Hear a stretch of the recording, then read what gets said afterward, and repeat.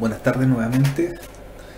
Eh, tal como mencionábamos en el, en el video anterior, eh, esta sesión corresponde a la del día 22, eh, mañana martes 22 de, diciembre. Si ustedes están viendo este video, corresponde a la sesión del día 22.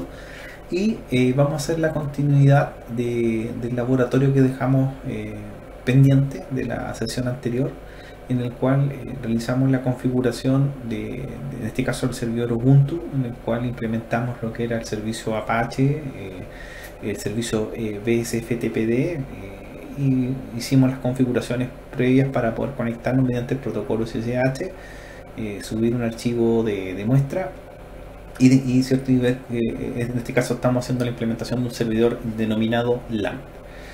Eh, estoy trabajando con la misma máquina, ya eh, está iniciada, como la ven ustedes. Eh, estoy conectado mediante una sesión de tipo SSH en, el mismo servidor de la sesión anterior. Y lo que vamos a trabajar hoy día es la implementación de, primero, el lenguaje PHP. efectivamente, ver que compile este lenguaje y también a implementar lo que es, lo que es la, en este caso la gestión de base de datos, implementar un servidor de base de datos dentro del, servidor. Con eso ya estaríamos armando ¿cierto? lo que es un servidor de aplicaciones. Estaría en condiciones de posteriormente, por ejemplo, implementar un carro de compra, si nuestro eh, servidor lo implementamos o lo preparamos para levantar un sitio web que haga transacciones, que tenga base de datos, etcétera, que es generalmente lo que se pide a nivel de administración de servidores hoy en día, ¿cierto? Servidores que generen eh, ventas en línea, que permitan levantar carros de compra, portales, que tengan base de datos, etcétera. Entonces ese es el objetivo de la preparación de este, de este servidor que hoy día eh, estaríamos con la segunda parte, que es implementar un lenguaje de programación y implementar también un gestor de base de datos. En una tercera etapa ya podríamos nosotros ya subir un carro de compras, un carrito de compras, una tienda en línea y ver que funciona correctamente. Y los detalles siguientes ya serían levantar servicios DNS, ¿cierto? Para asociar un nombre público, etcétera. Bien, vamos a, trabajar entonces con la misma máquina que estamos haciendo del video anterior, que correspondía al día martes 15 de diciembre. Eh, esta sesión recuerden que es la que corresponde al día martes 22 de diciembre. Y para ello eh, vamos a hacer la siguiente, la siguiente prueba. Nuestra máquina virtual, ¿cierto? Ya está en ejecución. ¿ya? Tenemos implementado el servicio Apache y tenemos también implementado lo que es el servicio eh, FTP. En el, aula virtual de la asignatura, en la unidad número 4, eh, les compartí también unos contenidos que entre ellos son un archivo que se llama info.php para que lo bajen. Ese archivo lo vamos a, probar en un momento más para que, ver que estamos compilando el lenguaje PHP eh, y estamos pudiendo mostrar información del server. Eso es lo que va a lograr este archivo. Y también unos comandos que son eh, necesarios para habilitar algunos módulos del lenguaje PHP y que funcionen correctamente en el servidor. ¿ya? Así que están todas las indicaciones, aquí está el archivo info.php, tal cual tiene que llamarse, lo vamos a mostrar cómo se construye y también eh, los comandos para habilitar el lenguaje. Ahí está el script que trae en este caso el archivo.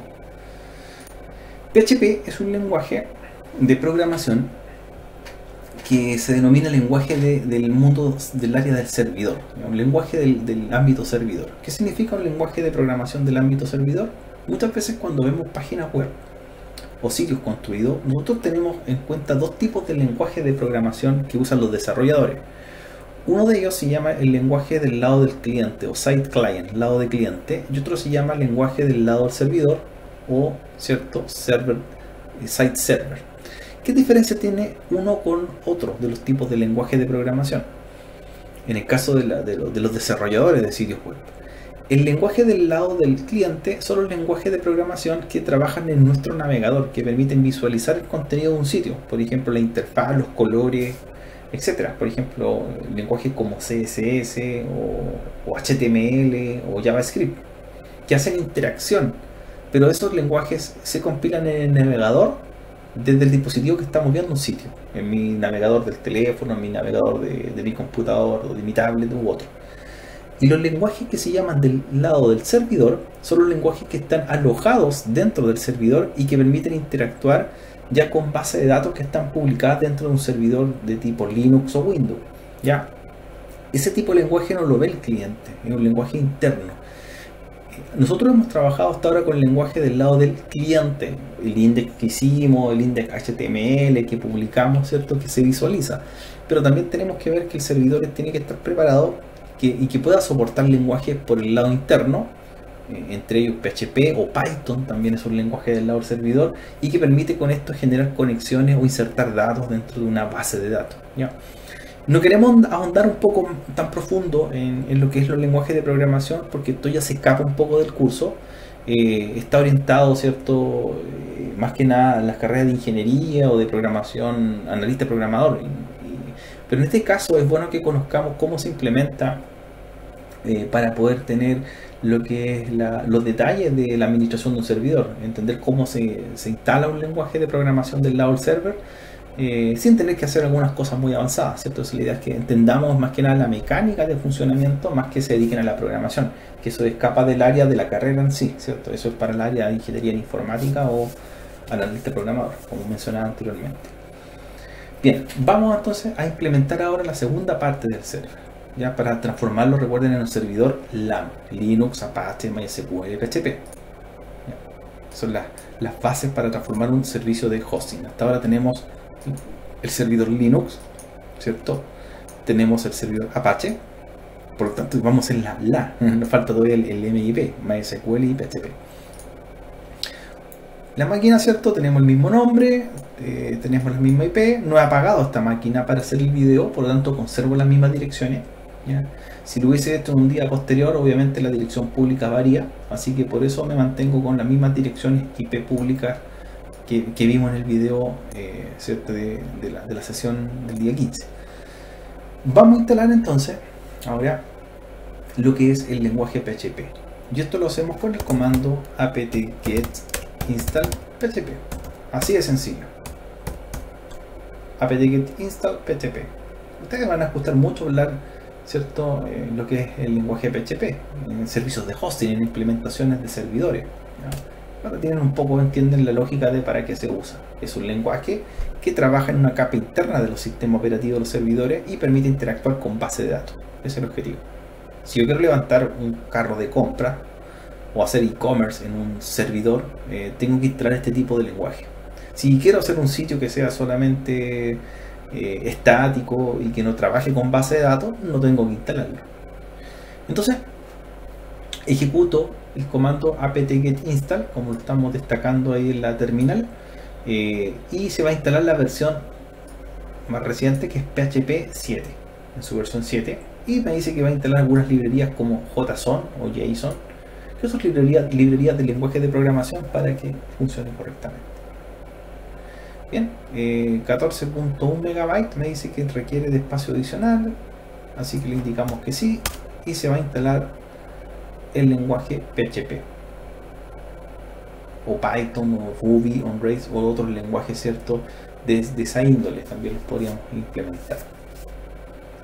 Bien se instaló el lenguaje PHP ahora lo que vamos a hacer una vez que se instala el lenguaje hay que instalar ciertos módulos activar ciertos módulos del lenguaje para que funcione correctamente por ello por lo mismo yo le copié eh, dentro de, del aula virtual, dentro de la unidad número 4, los comandos necesarios ¿cierto? para habilitar los módulos y que funcione correctamente este lenguaje. Y después tenemos que probar que funcione. Y vamos a, a trabajar con el archivo que mencionamos que se llama php info. Ya, entonces ustedes van a buscar, ¿cierto? Dentro del script que les compartí, y vamos a ocupar el comando apt-get install y vamos a instalar la librería llamada lib apache 2 mod php entonces apt-get install php apache 2 mod php de hecho pueden copiar textual el código ahí está como sudo pensando que quizás no estoy trabajando como usuario ROT, ¿cierto? Estoy como usuario ¿cierto? administrativo. Y ya si estoy como ROT, ejecuto apt-get install, esa es la diferencia. Si no soy ROT, ejecuto sudo. Eh, instalemos entonces el primer módulo. se empieza a instalar esta librería, módulos, ¿cierto?, que van a adicionar el lenguaje, y estaría ok la primera parte. Después, eh, me dice que instale, o en el caso que no se haya instalado la versión 7 de PHP, ¿ya? Que, generalmente eh, en algún tipo de sistema operativo, por esos sistemas operativos que no están actualizados en cuanto a su repositorio, puede que haya instalado una versión más antigua de PHP, como PHP 6 o PHP 5. Estamos hablando de las versiones que son aproximadamente del año 2010, 2008 De, de, PHP. Como es la versión 7, es la versión más reciente. De lo contrario, si no se instaló la versión más reciente, lo hacemos también con el comando apt-get install, como se menciona ahí, e instalamos manualmente la versión más reciente que es PHP 7.0 MB Stream. Veo que ya está instalado, así que no es necesario hacer nada nuevo, si se fijan. Me dice que no hay que necesario actualizar. Luego vamos a eh, habilitar dos módulos. Dos módulos. Hay un módulo que sí se va a habilitar y el otro no entonces igual, igualmente lo hacemos, comando sudo, aquí, aquí sí que damos la instrucción, la orden, el módulo se llama a2 thismod y este modo me dice que está deshabilitado el módulo, así que lo omitimos y vamos con el segundo módulo llamado a2 enmod mpm prefork. Estos módulos son necesarios ¿cierto? para que funcione correctamente este lenguaje y ese sí está habilitado. La última acción, luego de, primero, haber instalado el lenguaje PHP, haber instalado los módulos o librerías adicionales para poder habilitar el lenguaje, eh, vamos a reiniciar el servicio. Ya, reiniciamos el servicio PHP con el comando esta service apache restart. Y luego vamos a ver el estado del servicio. Service apache 2 restart.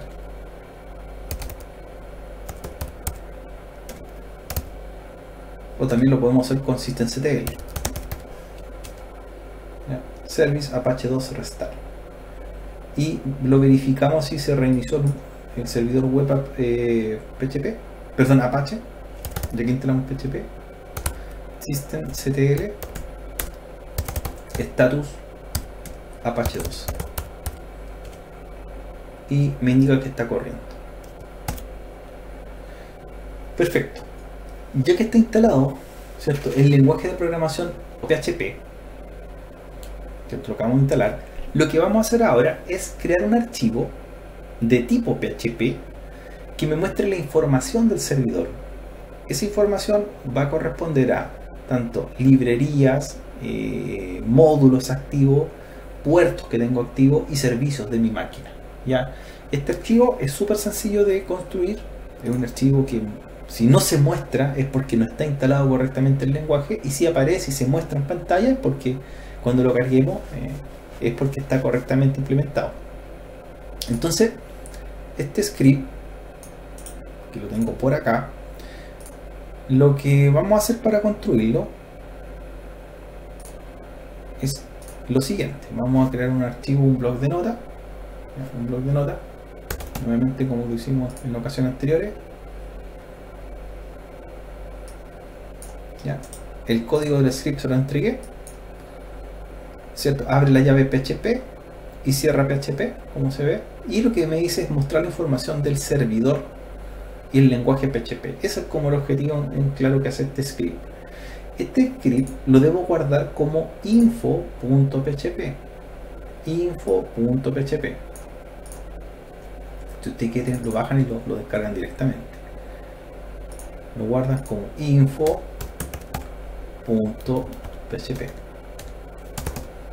info.php lo sobreescribí lo tenía ya así por eso me, me aparece. Info.php lo voy a mostrar por acá, lo tengo guardado. Y lo que debo hacer ahora la siguiente acción es este archivo poder eh, poder subirlo al servidor ¿ya? entonces si recuerdan aquí ya estoy conectado remotamente al servidor eh, la carpeta HTML y en la carpeta raíz que se está dentro de HTML acompañando sitio 1 lo que debo hacer es ir a buscar ese archivo llamado info.php que, creamos hace un momento atrás, que es este archivo, y que tiene el siguiente script, y lo subimos al server.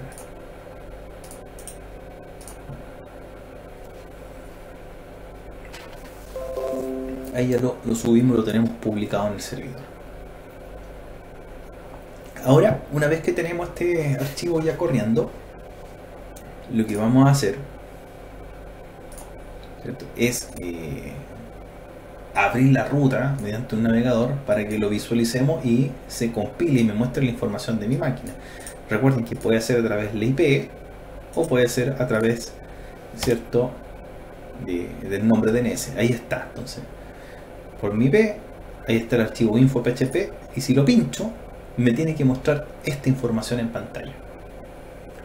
si me muestra es porque está correctamente instalado el lenguaje. Ahí me dice PHP versión 7.033 implementado sobre un servidor Ubuntu Server 16.04.16 y la información cierto clave que me vamos entregando me muestra la arquitectura del servidor, del sistema operativo, dónde están guardados o almacenados los archivos de configuración.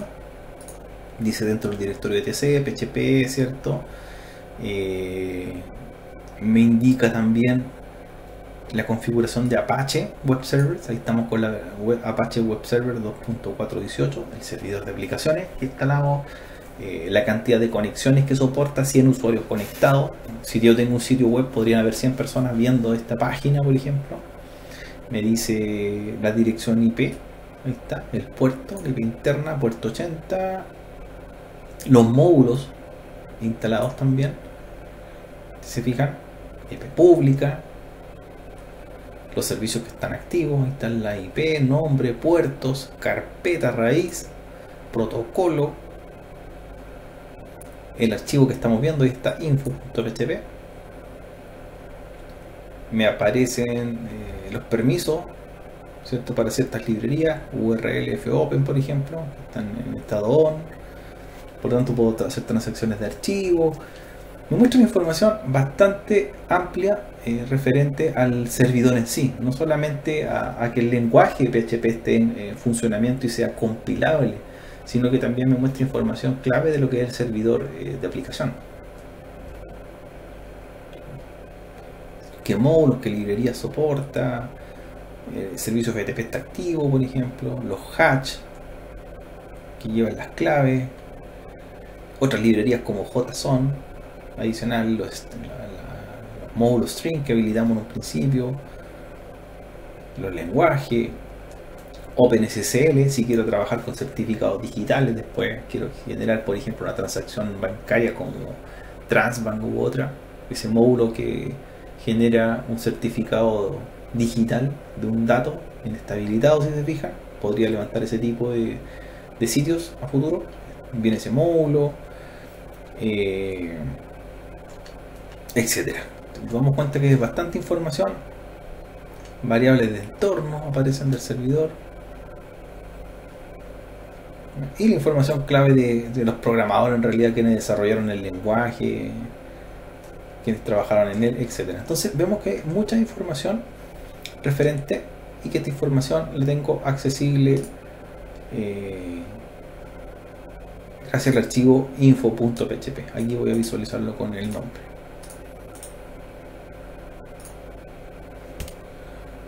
info PHP. Entonces, este, esto tiene que mostrarle su servidor. Ya tenemos, sigamos comparando el sistema operativo Linux, servidor Apache, lenguaje PHP, y nos quedaría, ¿cierto?, implementar lo que es el gestor de base de datos. Antes del gestor de base de datos, vamos a instalar un una librería más que nos quedó pendiente que se llama url por el comando apt-get install CUR, que es una librería que me permite también eh, en el servidor, ahí está, apt-get install CUR, eh, gestionar también lo que es eh, sitio, ¿cierto? En el cual permita conexiones seguras y transacciones de archivos hacia el servidor. Instalamos este módulo, apt-get install CUR, la librería y estaría lista. Si la vuelvo a instalar me dice que ya está ok.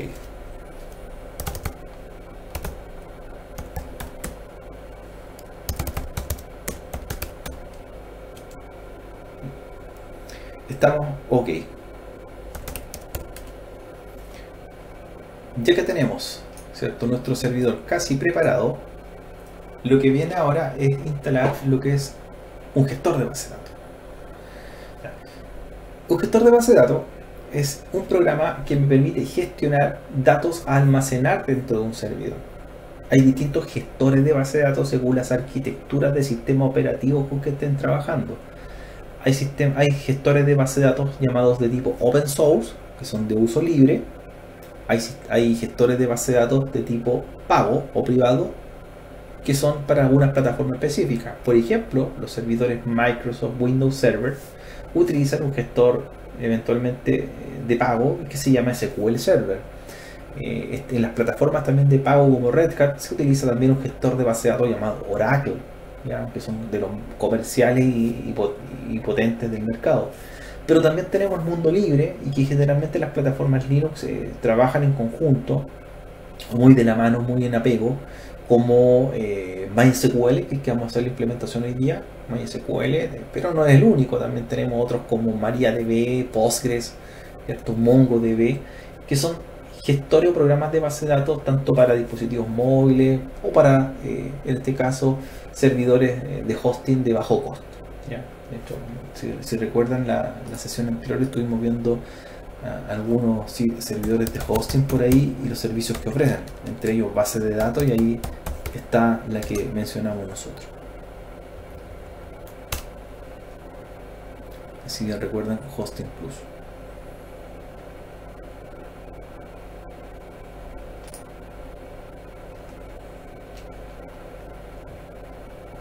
Ahí está, por ejemplo.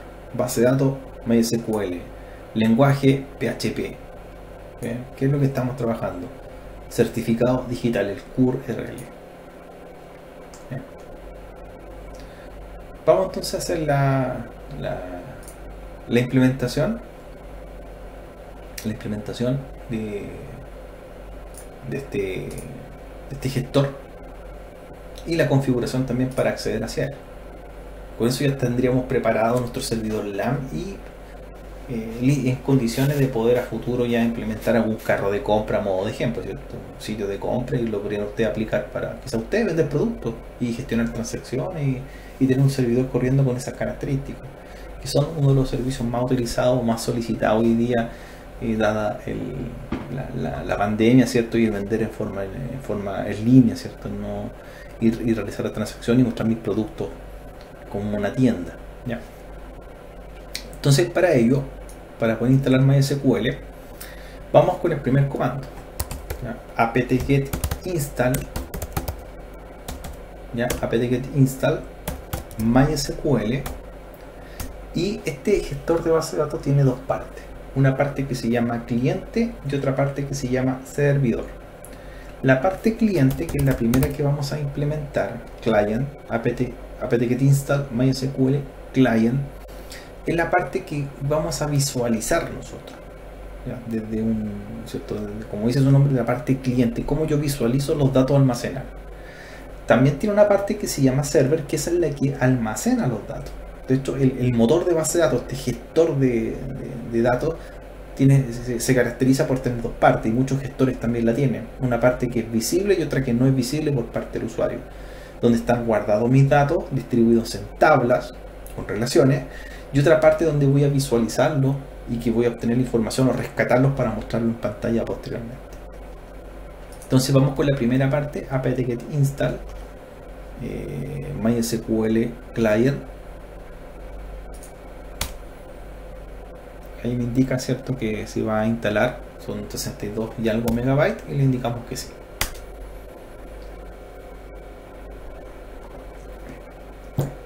todos estos proyectos pueden ser de categoría open source. Recuerden que no usan licenciamiento ni Apache, ni MySQL, ni PHP. Por lo tanto, los costos comerciales de levantar un servidor de estas características es económico por parte del administrador de sistemas, el técnico que está implementando, el ingeniero que implementa esta tecnología.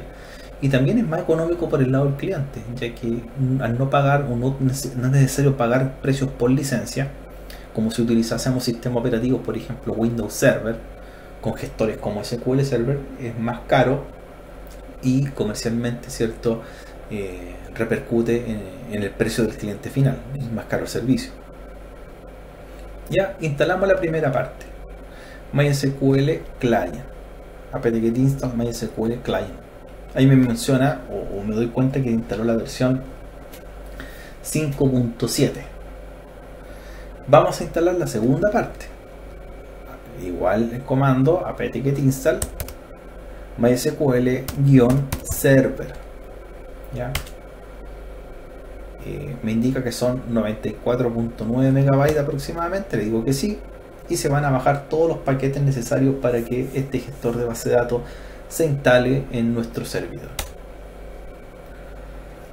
Aquí vienen algunas preguntas que son eh, asociadas a, la instalación de este servidor y que hay que tenerlas claras para ir haciendo las configuraciones o el paso a paso.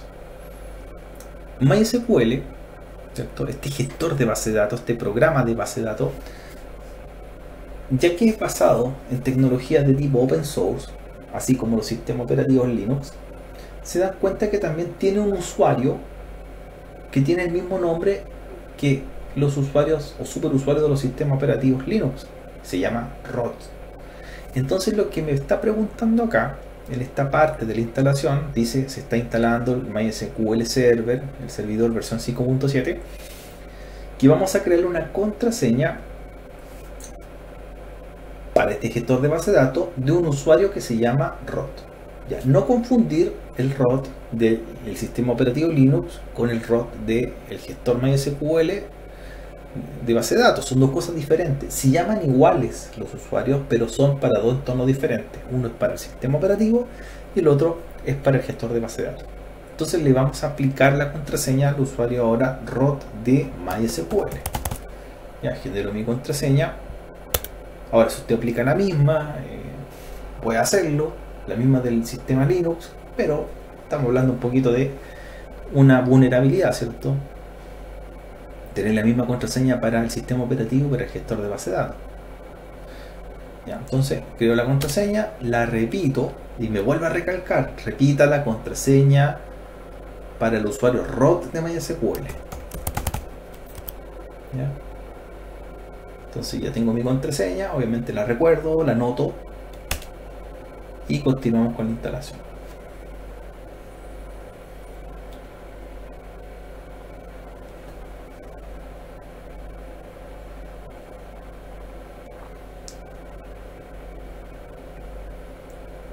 Una vez que tenemos ya instalado las dos partes del gestor de base de datos, MySQL Client, MySQL Server, podemos revisar también los estados, ¿cierto? Con el comando systemctl y revisar los estados de, cómo está el servicio. systemctl, por ejemplo, status MySQL. Ahí me dice que el servidor está corriendo, está activo. Ya, perfecto. Ahora, luego de haber instalado la parte visible del gestor de base de datos, la parte cliente, la parte server, vamos a instalar una interfaz gráfica que nos permita vía web visualizar las bases de datos que van a estar construidas. Y esta herramienta se llama PHP MyAdmin, administrador PHP. Por lo tanto, tiene lógica haber instalado PHP como lenguaje antes, ya que lo requiere esta interfaz para que funcione. De hecho, se llama PHP MyAdmin, administrador PHP. ¿Ya? Con esta interfaz vamos a poder visualizar ya más eh, íntegramente, ¿cierto? Lo que son las bases de datos que van a estar almacenadas en el gestor. Entonces, apt-get install php myadmin hay que tener también algunas precauciones que las vamos a ir mencionando y que tienen que ver con los aspectos de instalación. Entre ellas me va a pedir las credenciales del servidor que acabamos de crear de base de datos, el usuario root y la clave. Entonces, apt-get install, php y me dice que son aproximadamente 15 megabytes, le digo que sí, instalación. Va a buscar todos estos paquetes, los distintos repos públicos que están disponibles y me empieza a pedir la configuración de, este, de esta interfaz. Y lo primero que me dice acá es qué servidor web tengo instalado en este sistema operativo para que este administrador gráfico se, se, monte. Te me menciona dos de los servidores web más populares del mundo open source. Está Apache, que obviamente es el que tenemos instalado, y está, está Like HTTPD, que es un servidor más liviano. Que está pensado generalmente para sitios más liviano me refiero en carga y, en contenido, que es sitios que sean un poco más pesados, robustos para transacciones. ¿ya? Aquí hay que tener cuidado, ¿cierto? Si te fijan, está marcando el cursor en rojo y tienen que seleccionar con la barra espaciadora de su teclado Apache 2. Entonces una vez que se posicionan sobre la casilla que dice Apache 2, barra espaciadora, ya a marcar con el símbolo asterisco y me está indicando que esta interfaz que están, estos paquetes de esta interfaz que tenemos a mano se van a instalar sobre ese servidor. Y le digo Apache 2. Ahí tabulo y le digo OK. Aquí esta parte súper importante, no lo olviden. Apache 2, seleccionado, símbolo asterisco y continuar.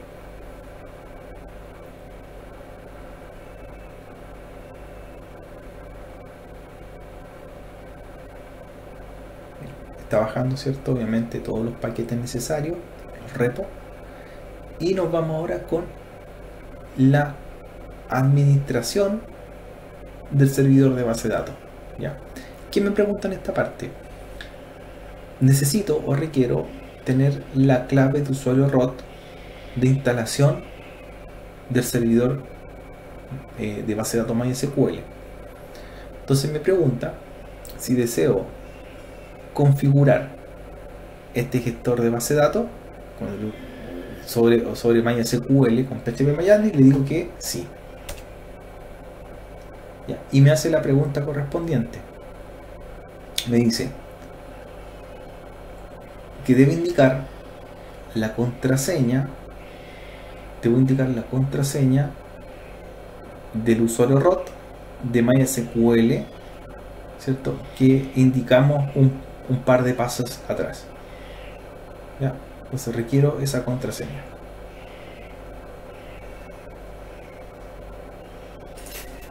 Bien, entonces como mencionábamos, vamos a ingresar la contraseña del usuario root de MySQL que, que, que creamos cuando estábamos instalando el gestor de base de datos. le damos OK, tabular, repetimos y seguimos cierto con la instalación correcta. Bien. A continuación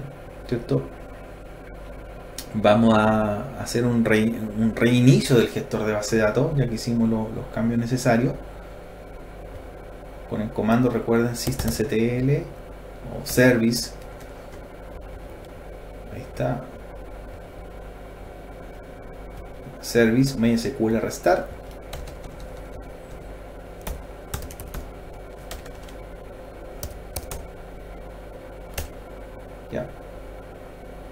reiniciamos el servicio ¿cierto? para ver los cambios. Y ahora viene una de las partes también importantes para ir terminando lo que es esta parte de la sesión, que es modificar ciertos archivos para poder tener acceso al servidor. Entonces, vamos a ir a la siguiente ruta. Como, como todo sistema operativo Linux, los paquetes de configuración se instalan dentro del directorio etc. ¿ya? Entonces vamos a ir a la carpeta raíz del sistema operativo Linux dentro del directorio etc. Ya nos vamos a encontrar con el directorio llamado mysql ya que está ahí marcado arriba en azul. Tenemos que ir a mysql. Dentro de mysql tenemos que ir a la configuración cierto del archivo necesario para hacer las modificaciones eh, correctas del servidor. ¿Ya? Así que vamos a ir dentro de mysql.cnf, entrar a ese directorio, cd mysql.cnf. Perdón, eh, nano, perdón, para abrirlo, porque tenemos que revisar en qué parte están esos archivos de configuración. ¿ya? Entonces vamos a entrar a nano mysql.cnf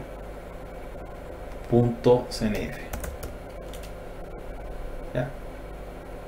Abrir el archivo y me encuentro con algo. Me dice que para configurar, ¿cierto? Eh, las rutas que debo seguir son el archivo conf.d y el archivo mysql conf.d. Así que los vamos a abrir. Si se fijan, me está indicando que están en otro directorio. Entonces vamos a abrir conf.d cd y dentro de conf.d está el archivo llamado mysql.cnf fíjense la ruta entonces nano mysql.cnf ese archivo está vacío, por lo tanto tiene que ser el otro archivo dentro de mysql conf.d. Entonces vamos a salir de la configuración. Ahora, por método de seguridad, ¿cierto? Se hace esto, que se van dejando directorios con archivos en diferentes partes. cdlc, entre nuevamente, cd mysql, ls, mysql conf.d, vamos a entrar, cd mysql.conf.d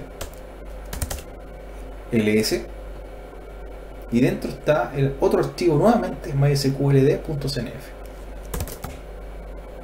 nano mysqld.cnf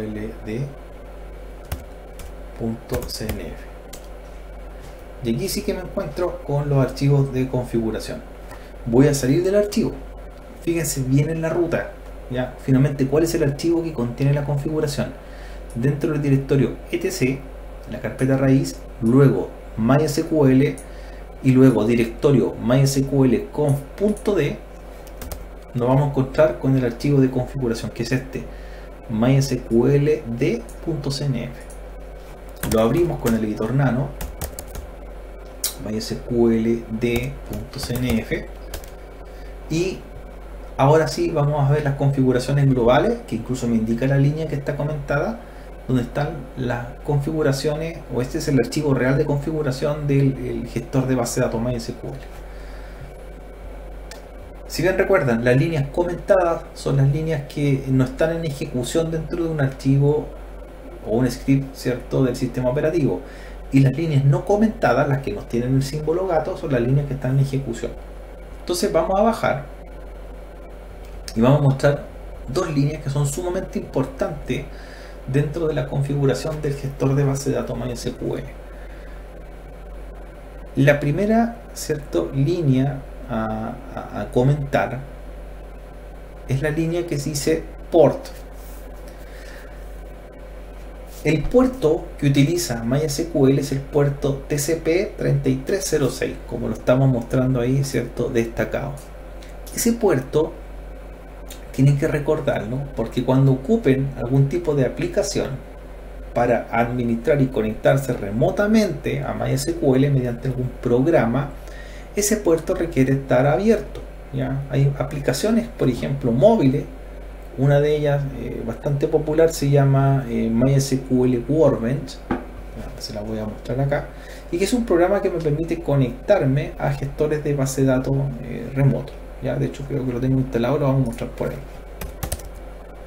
SQL Word. Si no, lo, lo, bajamos, lo instalamos. Entonces, puerto 3306 para programa MySQL Workbench. ¿Y qué otra cosa necesitamos conocer? Esta línea. Esta una de las más importantes. La segunda línea a modificar, porque en realidad la línea del puerto 3306 más que nada para que la identifiquen, pero no se modifica. Pero la que modificamos es una línea que se llama bin address dentro del archivo configuración.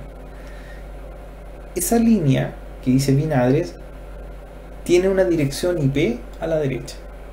Y la dirección IP que aparece es la 127.001, también conocida como dirección de loopback o localhost. Ahora, ¿Qué pasa si esta configuración la dejo así como está, con esa dirección interna? Lo que va a hacer el gestor de base de datos es que no va a permitir conexiones remotas hacia él. Es decir, no voy a poder insertar datos en las tablas de esa base de datos que vamos a construir. Porque solamente va a permitir conexiones locales, es decir, internamente puede guardar. Y lo que queremos nosotros es mandarle datos de alguna forma. Un cargo de compra, una transacción u otro. Entonces lo que hacemos ahí es muy similar a lo que modificamos cuando estábamos creando la instancia en Amazon Web Service. Es dejar una IP genérica, un IP cierto por defecto. Entonces la línea definida como bin address, dejamos la línea con la IP 0.0.0.0. Es decir, con eso va a recibir cualquier dirección IP. Desde cualquier dirección IP externa pueden insertar datos hacia el gestor ¿cierto? En este caso MySQL. Entonces, en binadres, la línea binadres modifican por la IP, cambia el IP de loopback o localhost por la 0000. Guardan el archivo, control O, recuerden, enter, control X. Y como acabamos de hacer una configuración, nuevamente hay que reiniciar vamos a reiniciar eh, lo que es el servicio de, del gestor de base de datos. Tengo los comandos, estoy, ahí está. Service MySQL Restart. Vamos a reiniciarlo. Vamos a ver el status. Systemctl. Status MySQL. Y me dice que está, ¿cierto? Ok, System Status MySQL. Bien.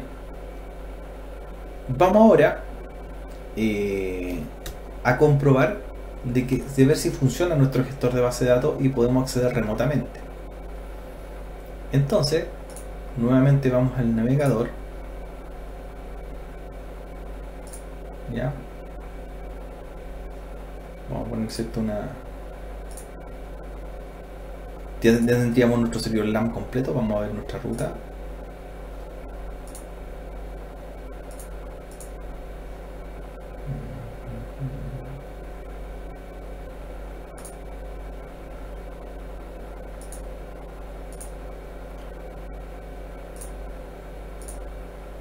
Ahí está la IP de nuestro equipo.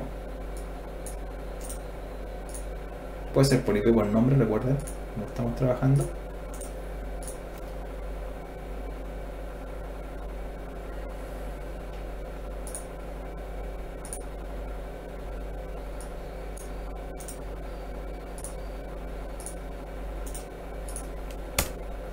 ahí está. Y ¿cierto? Al final el sitio php myadmin. Entonces sería nombre o IP php myadmin. Y le debería abrir esta interfaz. Si estamos viendo esa interfaz que dice PHP MyAdmin, bienvenido PHP MyAdmin, es que ya podemos visualizar nuestro gestor de base de datos dentro del servidor Linux. ¿ya? Voy a abrir con la IP también para que comprobemos de las dos formas. IP.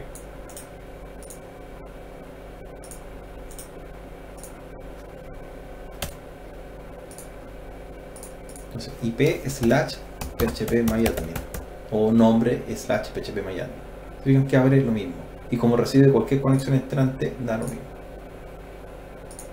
Bien. ¿Qué vamos a hacer ahora? vamos a entrar por un única vez con el usuario root del gestor de base de datos. Y la contraseña recuerden que agregamos para el usuario root de MySQL.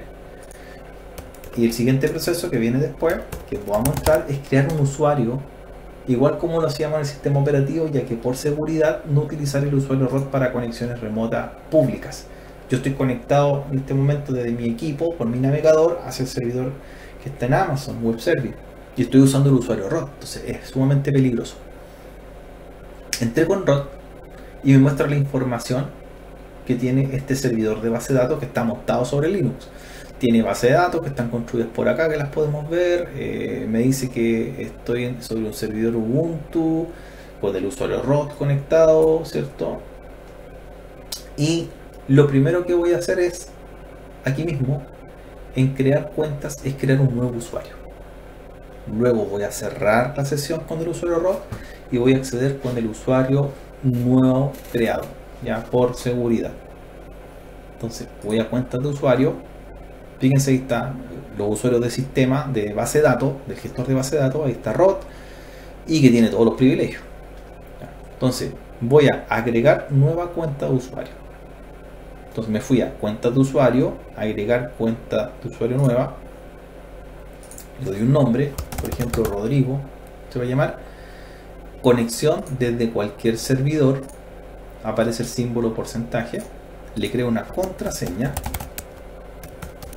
ya, usuario Rodrigo, contraseña, contraseña, me dice complemento de autenticación, método por Native MySQL Authentication Authentication, ¿cierto? Que es el método de autenticación que tiene el gestor. Y abajo, yo, puedo crear varias cuentas, ya eso para que lo tengan claro. Estamos creando una de ejemplo. Usuario desde cualquier servidor que reciba cualquier IP, contraseña, contraseña, MySQL Authentication. Y abajo dice, hay tres columnas y las seleccionamos todas.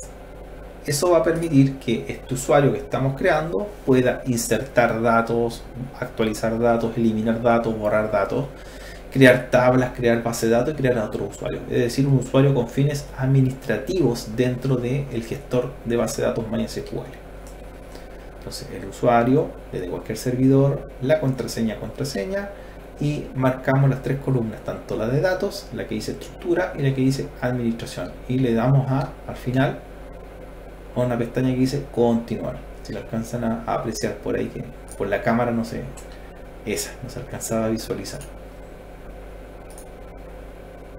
Y ahí me dice, se ha agregado un nuevo usuario, se llama Rodrigo, con todo una clave que está oculta y que tiene los privilegios, ¿cierto? Y que puede realizar ciertas acciones. Voy a cerrar, ¿cierto? La sesión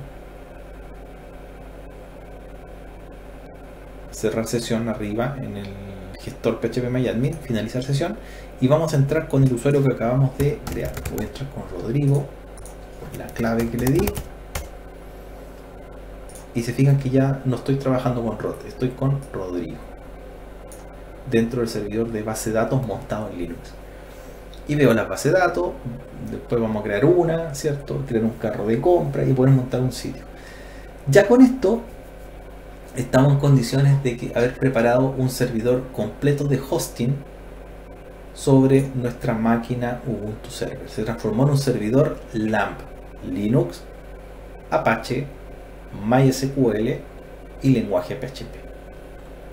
Y esto es lo que se espera, ¿cierto? Esto es lo que se afronta cuando ustedes requieran implementar o vender algún servicio eh, y se mencionen algún tipo de VPS o algún tipo de hosting. Levantar un servidor con estas características y el cliente ya podría, ¿cierto? Eh, o un desarrollador ya podría subir un sitio, compilarlo, publicarlo en internet y que sea visible y trabaje correctamente. Como muchos sitios que están hoy día eh, expuestos en internet, o foros como hechos en WordPress, o, portales de contenido, o carros de compra en este caso que es nuestro objetivo, un, carro de, un sitio de, compra por internet. Bien, ya con esto, ¿cierto? termino el laboratorio, importante que una vez que ya desarrollen esta actividad, lleguen hasta este punto de haber instalado la segunda parte del servidor, luego apagan la máquina, ¿cierto? Y estaría, estaríamos listos con la sesión del día 22. ¿Ya? Importante que vean los dos videos, el previo que era del día 15, este video que corresponde al día 22 y tengan su máquina actualizada y configurada según los parámetros explicados en ambas sesiones. Bien, me despido, sigo conectado por el chat ante cualquier duda. Me pueden ir haciendo consultas, tanto por el chat de Teams, y le voy respondiendo cierto alguna inquietud que le haya surgido. El día 29, el próximo martes 29, ya tenemos la pauta de, de la evaluación 3. esta pauta de evaluación 3, este trabajo, ¿cierto? Eh, va a ser un trabajo sobre una máquina virtual o máquina local creada, va a ser sobre CentOS.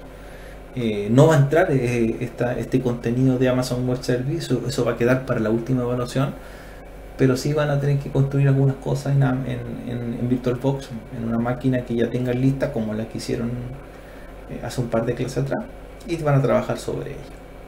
Y van a ver la pauta el día 29, la explicamos, la desarrollamos. La idea es no recargarlos también para fin de año y no se vayan con año nuevo con un trabajo, sino que lo terminen en la semana siguiente, pero como harto plazo para hacerlo. Bien, estamos en condiciones de terminar la sesión. Eh, me voy despidiendo, revisen los videos, revisen el material del aula virtual, avancen en el curso de Linux de Cisco y estamos en contacto el día 29. Nos vemos.